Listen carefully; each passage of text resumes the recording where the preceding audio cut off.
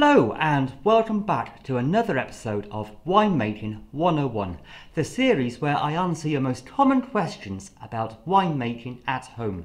Today's question is all about note taking, record keeping, and keeping a log of the wines you make at home. A lot of people entering the hobby often want to know if there's an app they can download for the phones or what the best method is of keeping track of the pure volume of recipes, of results of taste testing and just general data they gather about their home brew.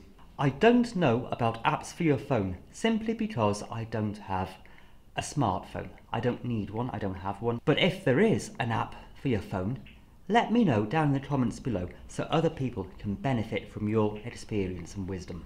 There are two methods of log keeping that I do. The first is the old fashioned approach and I use a journal. I use a big notebook.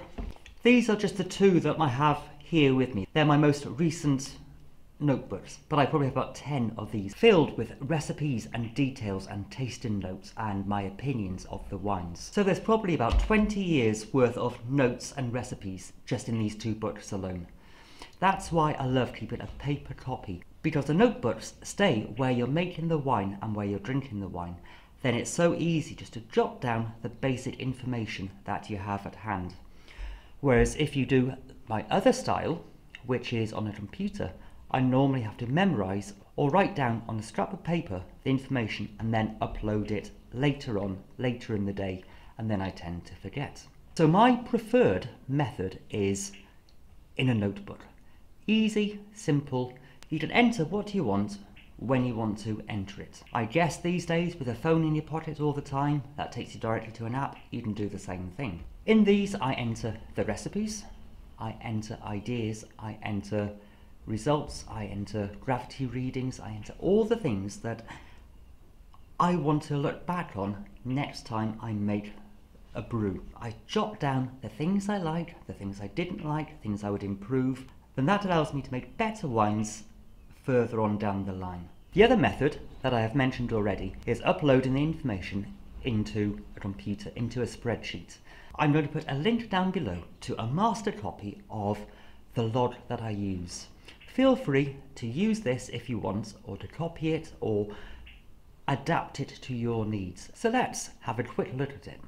You may or may not want to fill in all of these cells, such as the pH and acidity levels, at a simple level, you don't really need to fill these in. You don't really need to know this information, but it will benefit your winemaking in the long term. Also, there's the ingredients. Be as accurate as you can when entering the details in terms of weights and quantities that you use. There's no point just putting down a bunch of rhubarb because next year, how big is a bunch? Was your bunch this year bigger than it was last year? It will affect the wine. And if you want to make consistently good wine, consistent record keeping is essential to achieving this. The fun bit is the tasting notes. Every time you try that wine, jot down your thoughts, your opinions. Does it need longer? How long should you leave that wine for?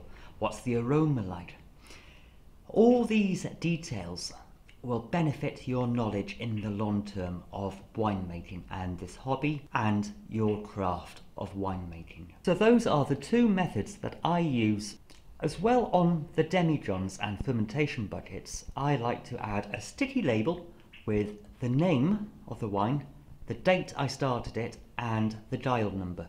Dial number simply being a reference number to either a notebook or an online entry and this is normally the year initially, followed by the gallon number. So it's 2020 this year, so that's me the first four digits, followed by 79 gallons. So it'd be 20, 20, 79 because that's the gallon number I'm on so far this year, and that's how I do the gallon number. But you can work out your own system. It could be as simple as 1, 2, 3, 4, 5, or whatever reference points you want to add use it. So I just briefly wanted to cover those points. So if you want to use a copy of my online Google Docs spreadsheet, feel free. I've also included a sample of my most recent wine I made this morning, which is a rhubarb and mint wine, just so you can work through and see how and see what data I entered into the relevant cells. So have fun, and I'll see you soon for the next video. Have fun now.